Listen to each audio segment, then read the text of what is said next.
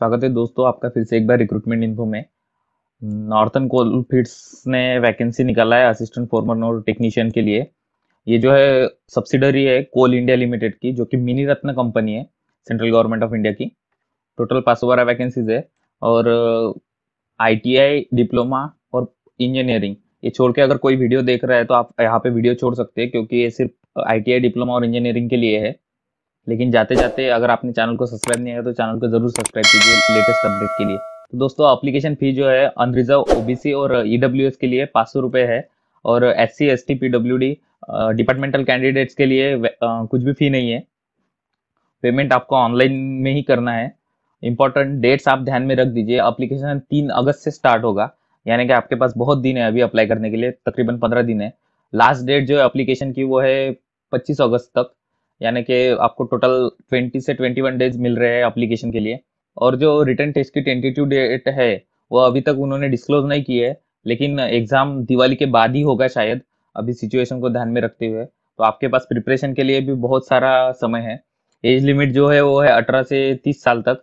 लेकिन S C S T OBC और departmental candidates को जो गवर्नमेंट के रूल है, उसके अकॉर्डिंगली रिलैक्सेशन भी अप्लीकेबल है। तो अभी हम वैकेंसी की डिटेल्स देख लेते हैं। तो सुपरवाइजरी पोजीशन में दो पोस्ट है, एक है असिस्टेंट फोरमैन ई के लिए, यानी कि इलेक्ट्रॉनिक्स एंड टेक्नोलॉजी के लिए, और दूसरी असिस्टेंट फोरमैन मैकेनिकल के लिए। ये ट्रेनिंग वैकेंसीज है, लेकिन एक साल का आपका ट्रेनिंग पीरियड खत्म होने के बाद आपको परमानेंटली एब्जॉर्ब कर लेते हैं जॉब में। तो इलेक्ट्रॉनिक्स एंड टेलीकम्युनिकेशन के लिए सात वैकेंसी है, और मैकेनिकल के लिए सेवेंटी टू वैकेंसीज है। इसमें डिप्लोमा और इंजीनियरिंग दोनों अप्लाई कर सकते हैं, और ई के लिए भी डिप्लोमा और इंजीनियरिंग दोनों अप्लाई कर सकते हैं। नेक्स्ट पोस्ट जो है वो टेक्नीशियन पोजीशंस के लिए, इसमें आईटीआई के लिए सभी पोजीशंस है। जिससे कि हम देख सकते हैं टेक्नीशियन फिटर के लिए 149 वैकेंसीज है टेक्नीशियन इलेक्ट्रिशियन के लिए 174 वैकेंसीज है टर्नर के लिए 19 वैकेंसीज है मशीनिस्ट के लिए 8 वैकेंसी है और वेल्डर के लिए 83 वैकेंसीज है। तो इसका जो क्वालिफिकेशन है वो बस आईटीआई पास होना चाहिए रिलेवेंट ट्रेड में, यानी कि फिटर के लिए फिटर इलेक्ट्रिशियन के लिए इलेक्ट्रिशियन और आपका दसवीं पास होना ज़रूरी है। तो अभी हम सैलरी देख लेते हैं। असिस्टेंट फोरमैन की जो वैकेंसी है, उसके लिए इकतीस हज़ार आठ सौ बावन रुपए आपको मंथली बेसिस पे मिलेगा।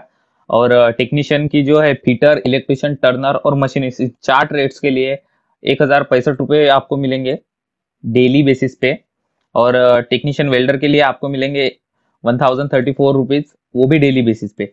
तो ये सैलरी जो है, वो आपकी एक साल तक रहेगी, उसके बाद आपको बेसिक पे ग्रॉस सैलरी मिलना स्टार्ट हो जाएगा जब आप उसमें परमानेंट हो जाएँगे। और इसकी सिलेक्शन प्रोसीजर जो है, वो सिर्फ़ रिटर्न टेस्ट है, आपको प्रैक्टिकल टेस्ट है इंटरव्यू देना नहीं है ओनली रिटर्न टेस्ट पे आपका सिलेक्शन हो जाएगा। तो अप्लीकेशन जो है, वो तीन अगस्त से स्टार्ट हो जाएगा। दोस्तों नोटिफिकेशन का लिंक डिस्क्रिप्शन बॉक्स में है। और अगर आपने अभी तक चैनल को सब्सक्राइब नहीं किया है तो चैनल को ज़रूर सब्सक्राइब कीजिए।